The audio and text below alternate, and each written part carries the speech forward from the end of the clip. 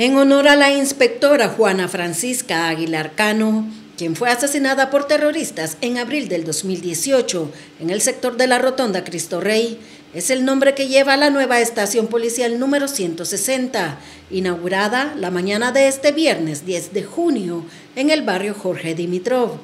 Me siento contenta que recuerdan a mi hija, con mucho cariño, con mucho amor, gracias del otro, pero cuatro años de ella ya, ella le extraña, pero la siento que yo estoy con ella. Aquí hemos invertido 3.5 millones de cordos en la construcción de esta unidad policial, incluido todo lo que es mobiliario y el equipamiento necesario.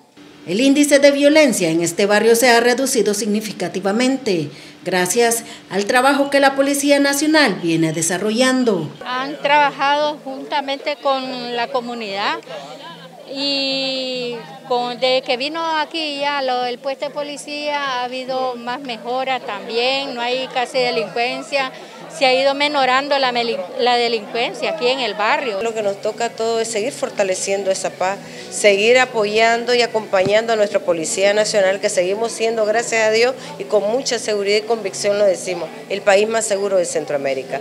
Esta nueva subdelegación refleja el compromiso de la Policía Nacional de brindar seguridad y atención ciudadana a los nicaragüenses para el bienestar familiar.